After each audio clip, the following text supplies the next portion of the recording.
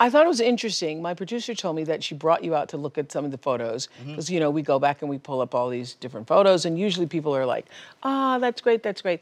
And she shared with me that you shared with her that looking at these old photos is not a comforting thing or a or a, or sweet yeah, I mean, for most transgender people, we don't really like to see pictures of us before transitioning because life was really hard Mm-hmm. beforehand. So they're generally not happy memories. You're Mm-hmm. kind of being like, okay, that was me living a, a, a life that wasn't me. I wasn't being myself, and I wasn't really happy. So, so it doesn't it doesn't you know bring back fun nostalgia. You just are reminded of the of the pain you were in. You know, I had this fascinating conversation on Super Soul Sunday with Janet Mock, mm-hmm. who shared with me what you're saying. I'm going to paraphrase it, Janet. I know you said it more eloquently. She's, She's so very eloquent, eloquent. Very eloquent. So I'm going to botch is. what you said. She was saying, When will I ever just be seen as myself? I'm just trying Yes. to be seen as myself. And I so get that. Yeah, that's. I mean, that is really what what it is, and I mean, it's interesting because It made me tear up because I thought, well, that's what everybody wants. That's wants. what everybody wants. And the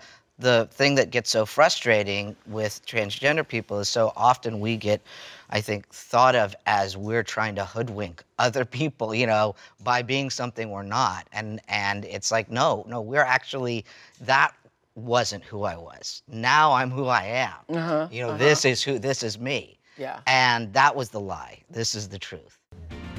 Hi, YouTubers. I'm excited to give you an update about our own YouTube channel. Now you can find new videos every day. They're the kind of videos that will make you look at life differently. They may even make you laugh a little bit. Who doesn't need a daily dose of that? So here's just a taste of some of what you'll see.